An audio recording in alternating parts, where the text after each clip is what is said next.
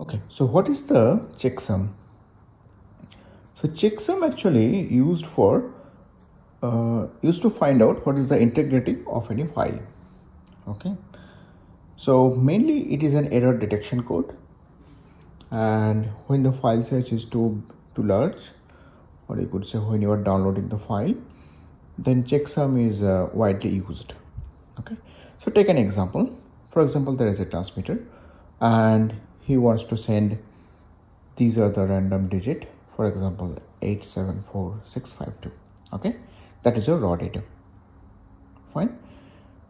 And then we have to find out what is the redundant data or redundant bit or whatever.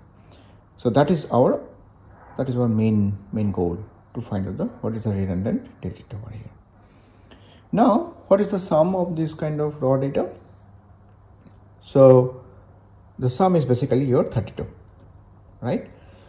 So in the checksum what you have to do instead of sending 32 we are sending minus of 32 so that in the receiver side the entire sum will be zero right?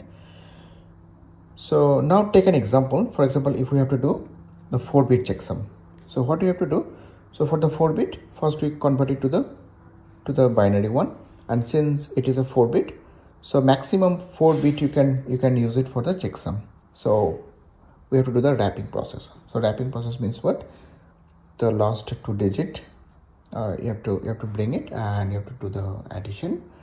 And then that is actually your wrapped sum. Okay? And then your ones complement will be uh 1101 right? So that is your ones complement because we have we have to send the negative of the of the of the sum. Right so basically you have to send 13 in the in the decimal decimal format. So your your checksum will be 13 in the decimal format. Okay? So in the receiver side what we have to do we have to get the zero or you could say one. Hmm? so in the receiver side the summation of the inter inter received uh, data will be 45 in the decimal format so in the decimal format what will be the i mean in the binary format what will be the value?